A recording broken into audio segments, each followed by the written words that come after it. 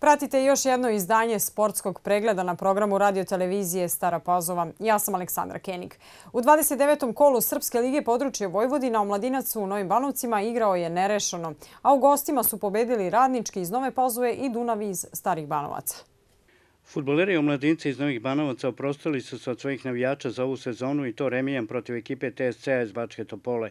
Tri puta su domaćini imali prednosti, tri puta su gosti stizali rezultat, inače jedina ekipa koja u proćnom delu prvenstva nije osetila gorčinu poraza. Omladinac je ovim remijem odagrao sve sumnje oko opstanka u Srpskoj ligi područje Vojvodina, a bod je utoliko vredniji ako se zna da su još u prvom poluvremenu ostali sa igračem manje i isključen je Miloš Živković. Izuzetno teška utekmica s obzirom da smo igrali protiv ekipe koja evo i posle 14. kola u ovom delu prvenstva nije poražena. Za 13 kola primili su svega 3 gola, mi smo im danas na, na jednoj utekmici dali 3, ali smo napravili tri katastrofalne greške u defanzivi, a jedna tako dobra i jedna kvalitetna ekipa kao što je TSC to ne prašta. Nedopustivo je da mi ovako primamo golove i da jednostavno dođemo u situaciju da se borimo za opstanak. Kažem vam, e, koliko god da smo dobro radili na terenu, sve to pada u vodu zbog e, bukvalno početničkih grešaka. Ovaj bod danas za nas je izuzetno velik s obzirom da smo negde krajem prvog polovremena ostali sa igrače manje, a izuzetno kvalitetna ekipa Topole je jedna od redkih ekipa koja je došla da se nadigrava sa nama. Predvođeni vrhunskim trenerom, izuzetno kvalitetan rad, izuzetno kvalitetan klub, pre svega ekipa e, dosta dobro nameštena. E, međutim, kažem, mi volimo da igramo protiv ovakvih ekipa i ja bih volio kad bi više bilo ovakvih utekmica u prvenstvu, sigurno, bi, sigurno je da bi mi igrali još bolje. E, naš peh je malo i što smo umorni, jer u šest dana ovo nam je treća utekmica, u sredu smo ispali polufinalu Kupa Vojvodine, gde smo se dosta potrošili protiv borca i Sakula, ali i tamo smo jednostavno izgubili pred sam kraj meča upravo posle jedne od ovakvih grešaka. Tako da samo još da odigramo utekmicu protiv Nove Pazove na neki način da overimo taj opstanak u ligi, a posle toga naravno ide pauza i totalna neka, neka, rekonstrukcija, pa se nadam da će i neko ko bude na mom mestu u nekom narednom periodu ispraviti ove greške.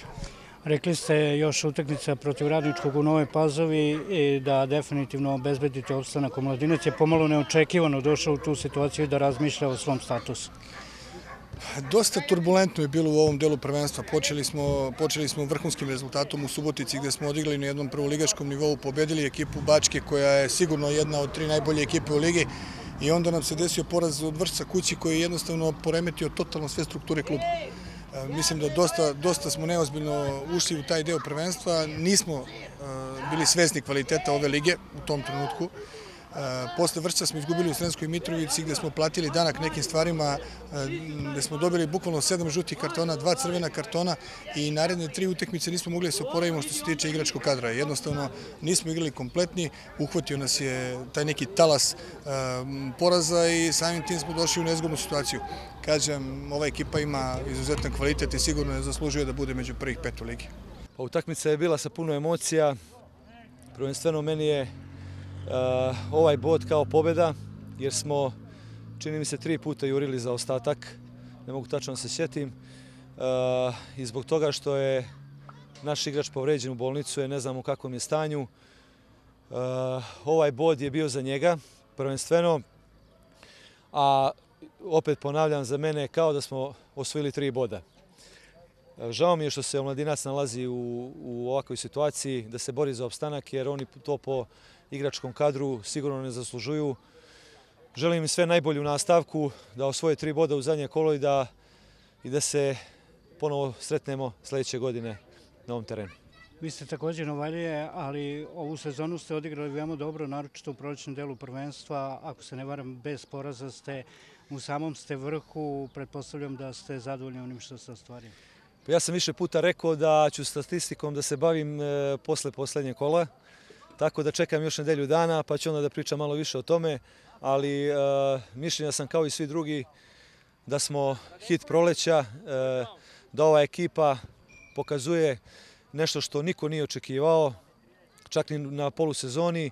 To su igrači koji su 90% njih iz nižeg ranga, nikad nisu igrali ovaj rang takmičenja, tako da njima svaka čast za sve što su radili do sad i ja im čestitam na svim rezultatima postignutim do ovom kola. S obzirom da ste trener početnik, e, verovatno ovo i dodatni stimulans za vas da još više i bolje radite i napredujete.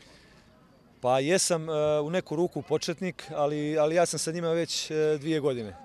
Tako da smo prošle godine iz nižeg ranga bili šampioni, ušli u, u Srpsku ligu Vojvodine. Ove godine smo, kažem, opet ponavljam da, da smo stvarili nešto što niko nije očekivao. Uh, očekujem da sledeće godine budemo još bolji, jer uh, ovi momci to sigurno mogu. Sanjate li klupu Vojvodine ili Crvene zvezde? Pa naravno, ne bi se bavio ovim poslom posle igračke karijere, da ne mislim da jednog dana uh, mogu da budem trener Vojvodine Crvene zvezde. Opet to su moji klubovi u kojima sam nastupao dugi niz godina, ali daleko sam još od toga. Imam još dosta toga da, da učim, da naučim i vjerujem ambiciozan, ambiciozan sam i vjerujem da jednog dana ću biti trener Vojvodine ili Crvene zvezde. Iako su igrali u gostima, futbaleri Radničkog iz Nove Pazove i Dunava i Starih Banovaca kući su se vratili kao pobednici. Novopazovčani su sva tri boda osvojili u Zrenjaninu protiv još ranije otpisanog Banata, a Dunav je vredne bodove za mesto u gornjem delu tabele osvojio u Šidu u meču sa Radničkim.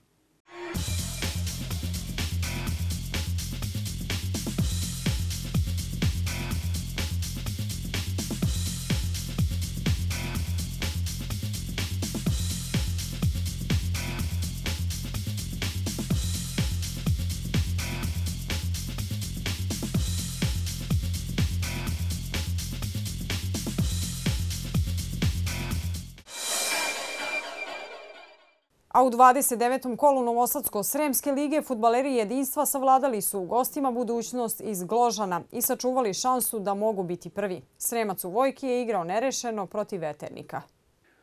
Ostala je tanka nada za futbolere jedinstva iz Stare Pazove da mogu u posljednjem kolu Novosadsko-Sremske lige da preteknu Crvenu zvezdu iz Novog Sada izbore povratak u Srpsku ligu područje Vojvodina. Biće im veoma teško jer Novosađani imaju dva boda više i idu u goste Kupinovu ekipi koja ni izbliza ne igra tako dobro i kvalitetno kao Jesenas kada je dugo bila u samom vrhu ali nada umire poslednje i tu nadu futbalerima jedinstva niko ne sme da oduzme. Jedinstvo je juče pobedilo budućnost u Gložanova, u poslednjem kolu će igrati kod kuće protiv davno otpisanog Jugovića iz Kaća. Pobeda protiv Jugovića neće ništa značiti ako Crvena zvezda pobedi u Kupinovu, dakle rasplet je za nedelju dana. U pravoj goleadi futbaleri Sremca su na oproštaju od svojih navijača igrali nerešeno sa veternikom i gotovo obezbedili treće mesto na kraju prvenstva, što je zaista sjajan uspeh.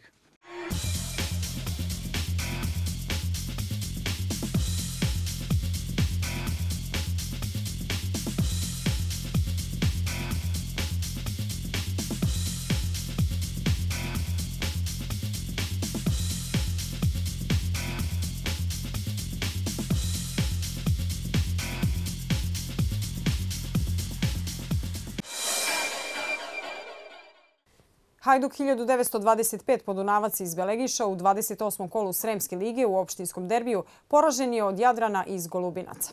Odigrane su i utakmice 17. kola opštinske lige Stara Pazova i Inđija. Opštinski derbi 28. kola Sremske lige u Belegišu između Hajduka 1925 podunavca i Jadrana iz Golubinaca pripao je gostima. To je drugi uzastopni poraz Belegišana koji su pre dva kola obezbedili titulu i gotovo se potpuno opustili, dok je Jadran ovom pobedom stekao velike izglede da bude drugi igra baraž za ulazak u Novosadsko-Sremsku ligu. Prvi maj i Jadran imaju isti broj bodova, ali Golubinčani imaju bolji međusobni skor i ako ova dva tima i na kraju budu izjednačeni, Jadran će u baraž.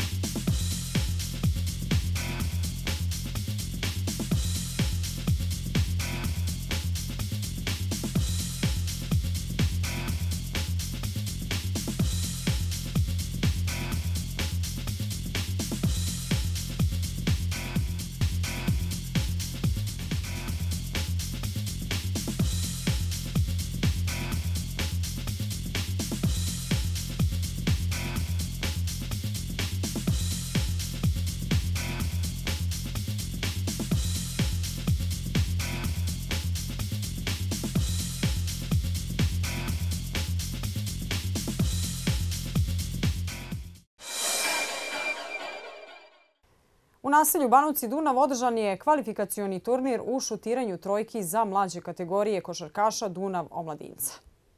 Juče je na otvorenom terenu naselju Banovci Dunav u organizaciji Košarkaškog kluba Dunav, Košarkaškog kluba Mladinac i 3 na 3 streetball Novi Sad održano takmičenje članova mlađih kategorija u šutiranju trojki. Promoteri takmičenja bili su svetski prvaci u basketu 3 na 3 Dušan Domović Bulut, naš sugrađanin Dejan Majstorović, Marko Savić i Marko Ždero. Mi smo ovo videli kao mogućnost da promovišemo košarku, a ujedno i basket koji je u našem mestu, a i opštini na zavidnom nivou, jer imamo svetskog prvaka Dejana Majstorovića koji je ovde kao promoter. Ova ideja je potekla od Dušana Domovića Buluta koji će organizovati turnir u Novom Sadu, Trix Street Streetball Novi Sad. Smislili smo način da je najbolje da promovišemo naš turnir i, i ovu igru e, basket 3 na 3 kroz najmlađe da bi i njih približili ovaj ne samo da, da, da ne gledaju samo košarku kao jedini element ono e, sporta kojim se bave, nego jednostavno mogu i da, da odu u neku drugu sferu kao što je, kao što je basket. Pobednik u šutiranju trojke je Nikola Crnomarković koji se u finalu sastao sa Filipom Tučinovićem. Njih dvojica predstavljaće nas na finalnom takmičenju Vojvodine u Novom Sadu u sklopu turnira u basketu 3 na 3 streetball Novi Sad. Samo da budeš hladan, to je jedino bitno, ja barem mislim tako i da se usresrediš. Nije toliko bitan ono šut, nego samo koliko se usresrediš i koncentracije je puno, puno koncentracije treba. Bilo je napeto, svaka čas Dejanu Majstoroviću i njegovim saigračima što su organizovali ovaj turnir, stvarno super ideja. Pa veoma napeto, imao sam e, tremu i malo sam promašivao neke šuteve. Reci mi, e, odakle tvoje, tebi ljubav ka basketu i košarci uopšte? Pa cela porodica mi se bavi košarkom i onda sam ja krenuo njihovim stopama. Mi radimo već posljednjih mesec dana, idemo po, po Novom Sadu, uglavnom bili smo u Zrenjaninu, u Srbobranu, u školama košarke, da promovišemo basket 3 na 3 e, i pravimo turnir u avgustu u Novom Sadu na štrandu, krajem avgusta. Šta je za tebe basket i košarka? Pa za mene basket sve, iskreno ti kažem kad sam nervozan ili kad sam smoren ili kad mi je nešto teško, dođem na koš sam, šutiram, to mi je bukvalno sve. Bez toga stvarno mislim da ne bi mogao. Na ovom takmičenju učestvovalo je 16 košarkaša. Ovaj sportski događaj privukao i veliku pažnju gledalaca u pauzi takmičenja. U revijalnom delu u trojkama su se takmičili sami promoteri, a članovi mini basket selekcija iscrtavali su teren košarkaškim temama. Ovim prilogom završavamo ovaj sportski pregled. Ostanite dalje uz programa radio televizije Stara Pazova. Doviđenja.